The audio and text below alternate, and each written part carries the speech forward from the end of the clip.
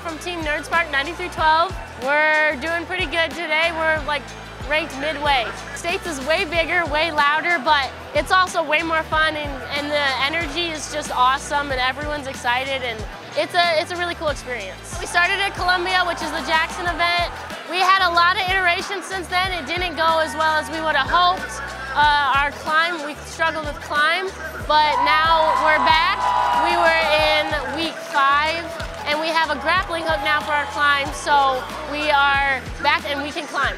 My favorite part is definitely the shooter because I like seeing things get thrown across the field. It's the most like interactive part, so that is personally my favorite part.